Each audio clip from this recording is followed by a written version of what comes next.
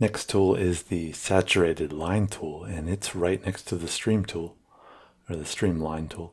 And click on it, and these these are some really cool effect lines that will uh, kind of can give your lines and your uh, your artwork some really dramatic uh, effects. So let's just take a look at them. Scattered saturated line, the first one.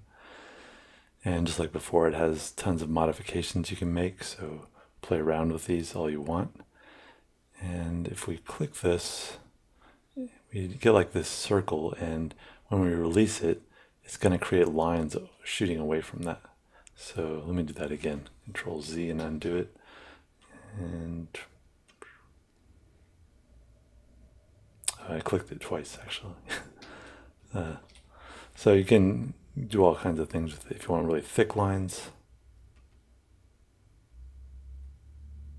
I keep double clicking accidentally. That's the first one. And you know, I could do this again. It's getting quite a few.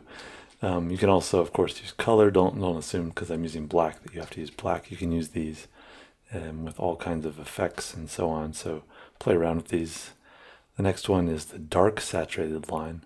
This one is you actually uh, can make a curved line with this, and then when you release it, the lines are going to kind of bounce or not bounce, but kind of feed off of it.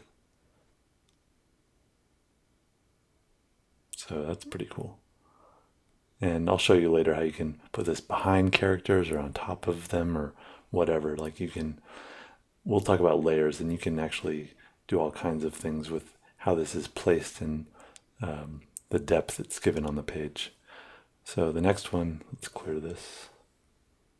Trash. The next one is the dense saturated line and it's, oops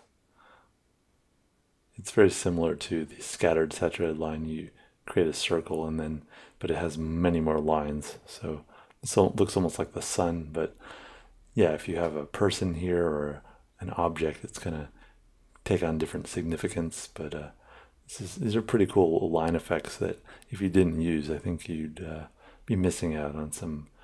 It adds a, a touch of sophistication to your work that you probably can't get just doing this manually. This would this would take forever. This would take an hour to do this, even if you used a ruler. So it's very helpful. Next one is brightness. I'm going to clear these.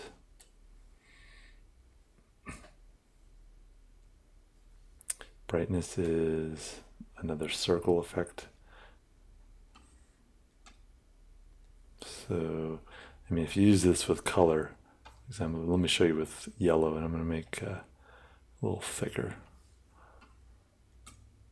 So this is kind of a cool, kind of fuzzy effect that, you know, you may not know what you would use this for now, but just keep this in mind, and you're you'll be surprised. Like later on, when you, you know, if you may need a, a gun firing, this might be a good effect. There's, there's, a, it's just kind of you want to keep an eye out as you look at other people's work and see how they use similar effects, because there is kind of this, uh, this vocabulary to visual illustration that um, the way that we communicate action and and motion is uh, we've come up with some really innovative solutions and they're not always the same solutions in in American comics versus say Japanese comics. They have their own unique answers so play around with this. And next one is burst and it's a burst. I'm going to change it back to black.